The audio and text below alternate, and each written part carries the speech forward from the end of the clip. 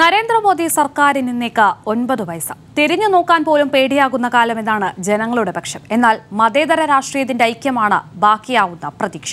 ഈ റിപ്പോർട്ടോടുകൂടി റൗണ്ട് പൂർണമാവുകയാണ്. ശേഷം പ്രാദേശിക വാർത്തകളുമായി ആവണി ചേരും.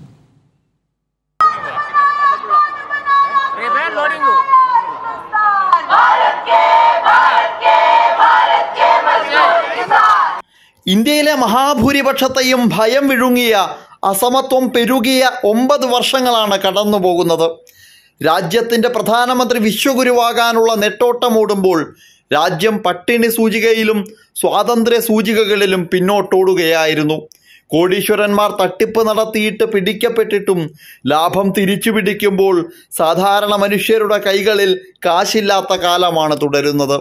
വിമർശനങ്ങളുടെ കഴുത്തു ഞെരിച്ചൊടിക്കാൻ പ്രതിപക്ഷത്തെ പ്രധാനികളെ അന്വേഷണ ഏജൻസികളുടെ ചോദ്യമുനകളിൽ കുരുക്കിയിടുകയായിരുന്നു പുതിയ ഭരണകൂടതന്ത്രം. രണ്ടായിരത്തി പതിനാലിൽ നരേന്ദ്രമോദി പ്രധാനമന്ത്രിയായതിനു ശേഷം ഇൻകം ടാക്സും എൻ ഐ എയും ഇ ഡിയും സി ബി ഐയും ഏറ്റെടുത്ത കേസുകളിൽ അറുന്നൂറ് ശതമാനമാണ് വർധനവ്. ഇന്ത്യ കൂട്ടവംശഹത്യയ്ക്ക് സാധ്യതയുള്ള രാജ്യമാണെന്ന് വിലയിരുത്തിയത് അമേരിക്കൻ സ്റ്റേറ്റ് ഡിപ്പാർട്ട്മെന്റാണ്. സിനിമയും സോഷ്യൽ മീഡിയയും മുതൽ ബുൾഡോസർ വരെ വിദ്വേഷത്തിന് വേണ്ടി ഉപയോഗിക്കപ്പെട്ട ഒമ്പത് വർഷം. എല്ലാ മനുഷ്യരും സംഘപരിവാറിന് ശത്രുക്കളാണെന്ന് തിരിച്ചറിഞ്ഞ കാലം.